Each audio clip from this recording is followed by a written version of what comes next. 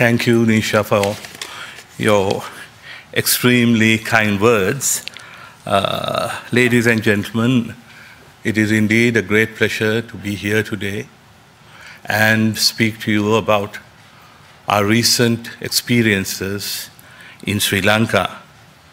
In fact, I would like to take this opportunity to thank Ambassador William Taylor, the Executive Vice President of the USIP, and also Walter Lohman, Director, Asian Studies Center of the Heritage Foundation, for organizing this discussion today.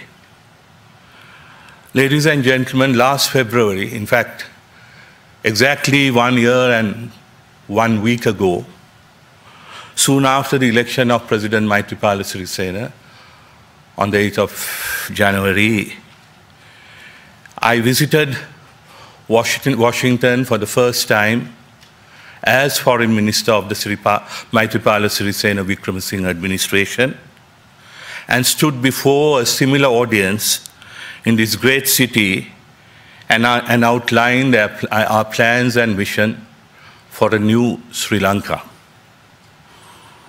It has merely been a year, but looking back, it seems as if several years have passed since then. A year on, much has happened and much has been achieved. And as Nisha, Nisha said, much has to be achieved. The relation between our two, relationship between our two countries alone has ex experienced a veritable renaissance since the first visit of Assistant Secretary of State Biswal in January of 2015.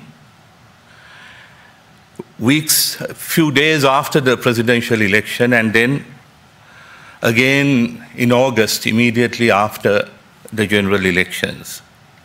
In such a short period of time, our relations have been strengthened to unprecedented heights.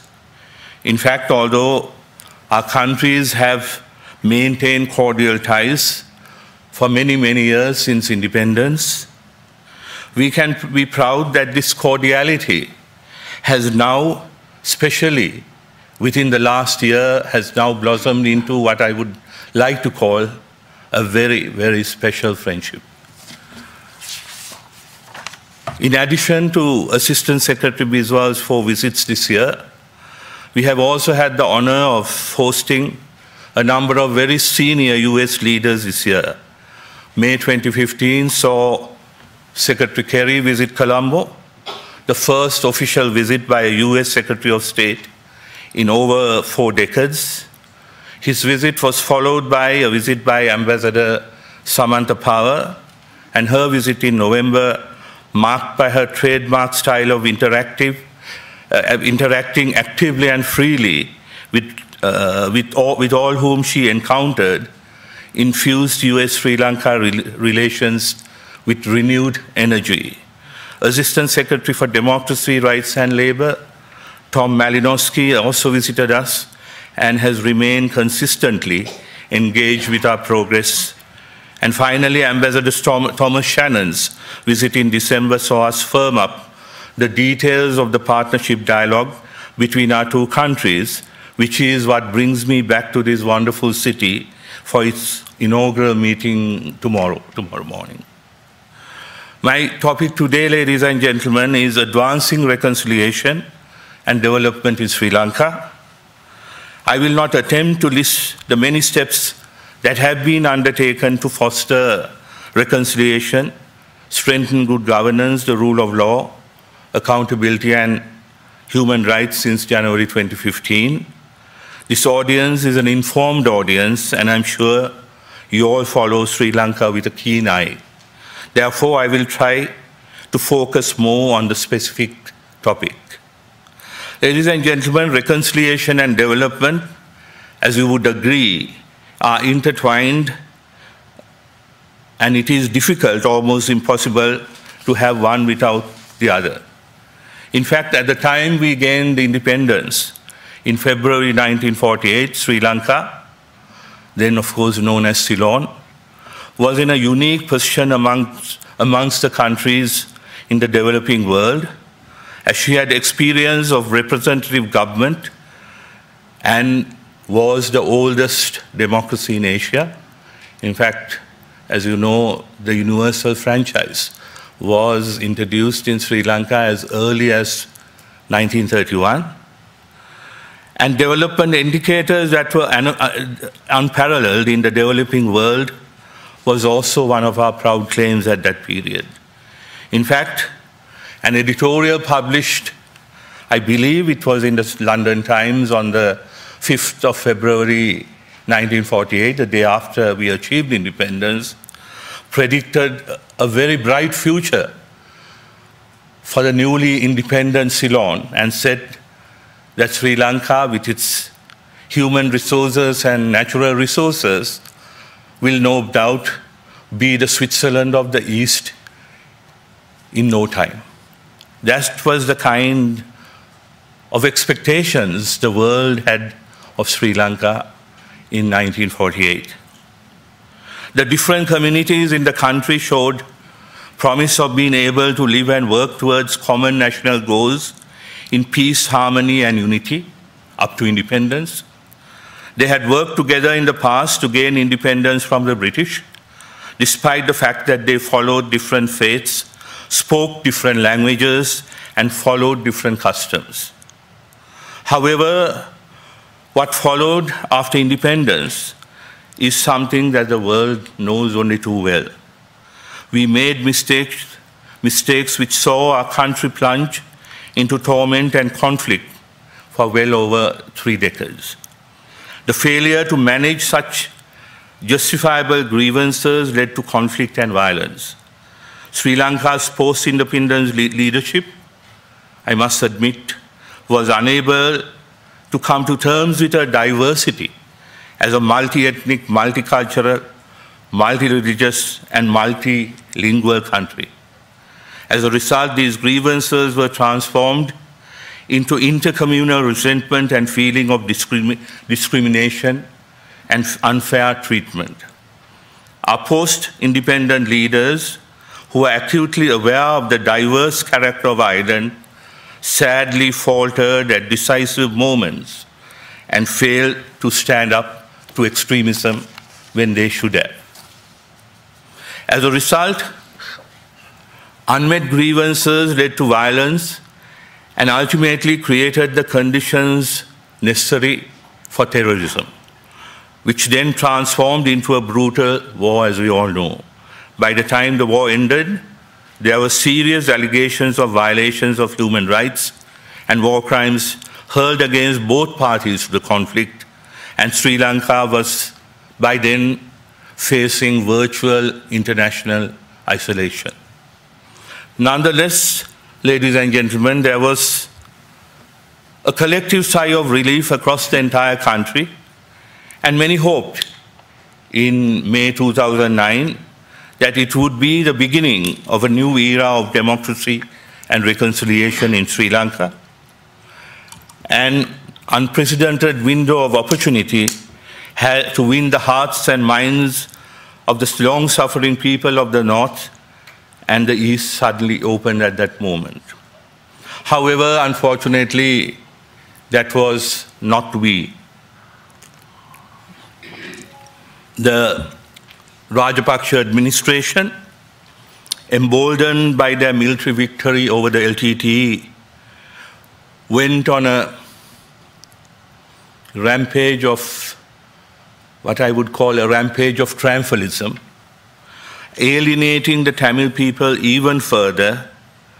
Instead of using the goodwill generated in the war victory for healing, that historic opportunity was cruelly squandered to further the dynastic ambitions of the ruling family at the time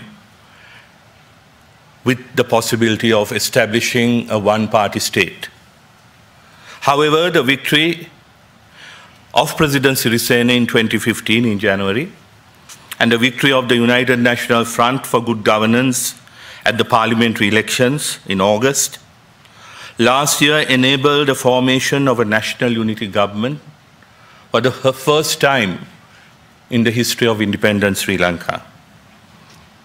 It unexpectedly heralded a new era for Sri Lanka.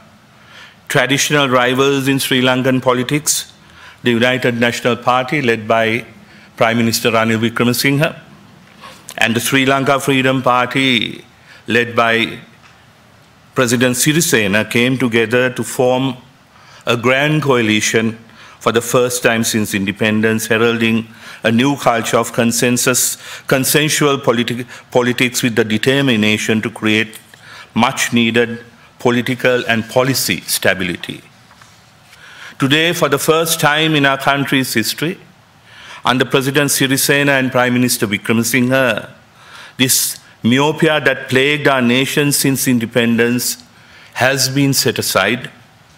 The temptation of political parties to follow a path of confrontation in order to achieve short-term political gains over the long-term interests of the people is now over and hopefully forever over. We also have in our leader of opposition, the Honorable R. Sampanthan, the leader of the TNA, a wise, committed and respected politician with the resolve to work together to ensure that we do not let our country lose yet another golden window of opportunity. The National Unity Government has not wasted any time, ladies and gentlemen, in making the fullest use of this historic opportunity. In September last year, the government made a commitment in the form, as Nisha said, of co-sponsoring a resolution at the Human Rights Council in Geneva to strengthen good governance, foster reconciliation, promote human rights, establish accountability under the rule of law and ensure non-recurrence.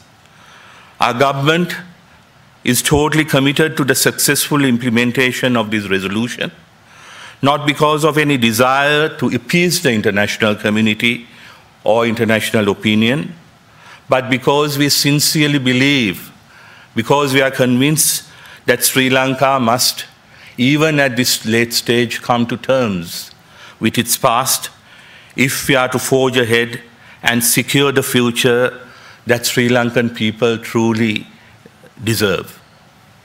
As President Sirisena said just earlier this month, on the 4th of February in his Independence speech, Independence Day speech, I quote, it is now time for us to seize the current opportunity that is before us to implement the provisions of the resolution, not because of international pressure, but because as a nation we must impl implement these provisions for the sake of restoring the dignity of our nation, our people, and our military, in order for Sri Lanka to regain her due position as a strong democracy among the community of nations, unquote.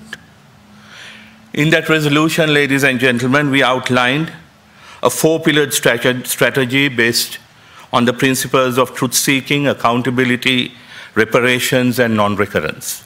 This strategy, the, strategy resulted in a commitment to form a commission for truth, reconciliation, justice, and non-recurrence, an office on missing persons, a judicial mechanism or special courts to, to punish those who may have indulged in serious human rights violations, and an office for reparations which will be set up by statute.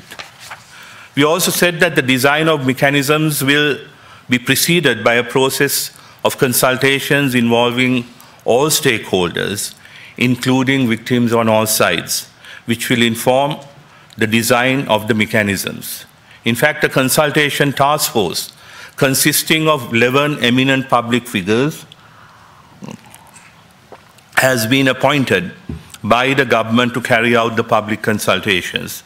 The task force is currently working on consulting experts in finalizing the questions for the process and will be appointing provincial and district task forces to conduct face-to-face -face consultations and this group was introduced uh, uh, and presented to the civil society groups in Jaffna two weeks ago uh, by me, and, and the work is now uh, underway. In the meantime, with the assistance of the United Nations Peace Building Fund, the Office for the National Unity and Reconciliation, and the Ministry of Resettlement are carrying out reconciliation related, related projects, including programs aimed at creating understanding among communities, psychosocial and livelihood support. Another important and essential component to ensure non-recurrence, we said, is the introduction of a new constitution, a constitution that guarantees, among other demo democratic reforms, the right of minorities in Sri Lanka. Addressing the parliament on the 9th of January, uh, the president uh, of Sri Lanka urged all members of parliament to extend their support to the adoption of a new constitution and to those who argued that the executive presidency should be retained because that was the only means by which Sri Lanka was able to combat terrorism successfully. He responded, Sri Lanka, rather than continuing with the executive presidency, anticipating a war in future, Sri Lanka should uh, complete the reforms that are necessary to ensure that war and violence will never occur again. The government's resolve to sec secure reconciliation win the peace and ensure uh, non-recurrence is firm. But in order to win the peace, development, rising standards for each and every Sri Lankans, of course, is a sine qua non. All good intentions and political will, uh, we, uh, polit politics will not succeed unless all stakeholders feel that their development is being cared for and their lives are improving. Therefore, Winning the peace is just as mu much about jobs, education, healthcare, and infrastructure for all Sri Lankan as it is about political reforms. The peace dividend must be felt in economic terms by all sections of Sri Lankan society. The peace dividend for the unemployed youth must be greater and better job opportunities, for the housewives, better living standards, for the farmers, a higher price higher prices and access to markets. For the students, more schools, technical colleges, and universities with better trained teachers and lecturers, and for the elderly, greater access to hospitals and free medicine. The government of Sri Lanka has no doubt, as, no doubt, as the necessary political and economic reforms take place, investments and trade and ultimately jobs, growth and economic development we follow. But as the relationship between peace and development is holistic and dynamic, the faster the peace dividend, the greater and faster the likelihood and durability of peace. In a nutshell, the people's purses must also feel the benefits of the reconciliation, peace, and ethnic harmony program which we are conducting now. And they must feel that the difference as quickly as possible. Therefore, just as the world rallies around Sri Lanka with advice and support for our reconciliation process, at this critical time of transition, it is also imperative that the world rallies, rallies around us to kickstart the economy and catalyze our development journey. The government is working hard on this front too. We are putting in place a framework to sustain and accelerate Sri Lanka's 6% plus growth rate, create a million jobs in five years, and improve living standards through an ambitious economic development drive. The government's economic strategy is based on attracting foreign direct investment, making Sri Lanka's exports more competitive, promoting tourism, and improving productivity through education and knowledge transfer. Sri Lanka is at the center of a rapidly growing Indian Ocean region, astride the main east-west shipping route and next to one of the world's largest markets, India. We are leveraging this unique geoeconomic location to accelerate growth. Negotiations, negotiations are already underway to deepen our existing free trade agreement with India, which we hope to complete by the middle of the year. We plan to do the same with Pakistan, with whom we also have a free trade agreement. These agreements combined with our excellent air and sea connectivity, ladies and gentlemen, to the subcontinent will help cement our position as a gateway to the Indian subcontinent. We are also improving our market access further abroad. Due to the previous government's human rights violations, we lost the GSP plus concessions to the European Union following the successful visit of the EU Working Group on Human Rights Sri Lanka. We are now finalizing our formal application for GSP plus reapplication and we hope to regain the facility by the end of the year. We are also already in discussion to sign a free trade agreement with China. The United States is our single largest export market, accounting for a quarter of Sri Lanka's exports. Sri Lanka has some concessionary access to the US market through the GSP facility and has also signed an, a trade and investment framework agreement.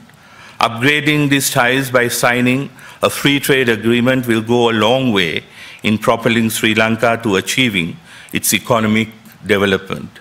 In addition, the government is very seriously exploring the possibility of applying to join the Trans-Pacific Partnership.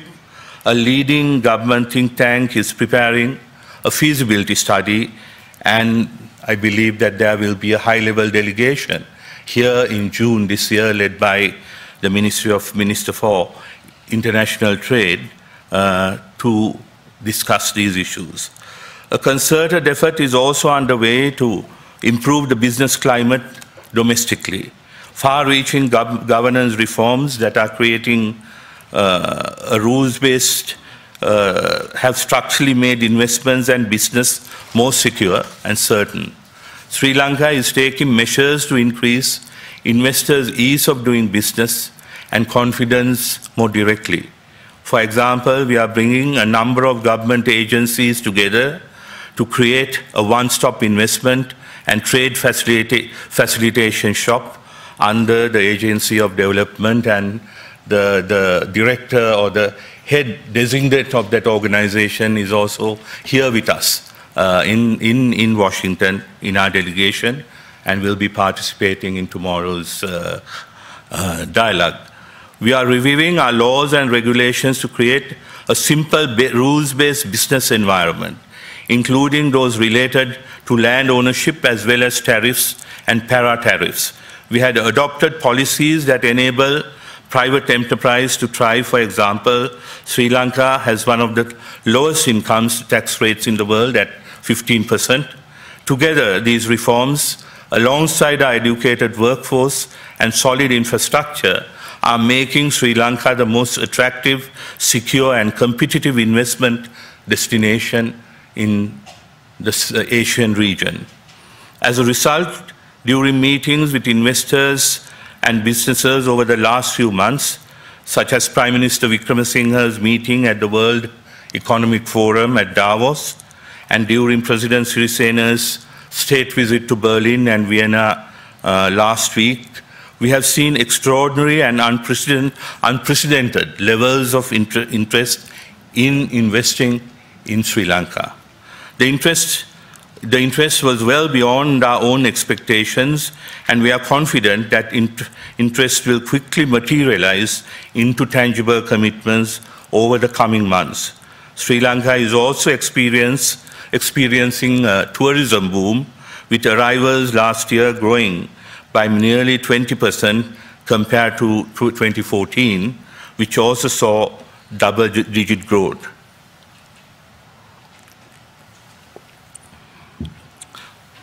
Ladies and gentlemen, but we also need to rapidly improve living standards across the board, especially the most vulnerable, uh, perhaps faster than the time lags that inevitably accompany investment and trade-led growth at this critical time of transition, demonstrating that there is a peace dividend is of fundamental importance.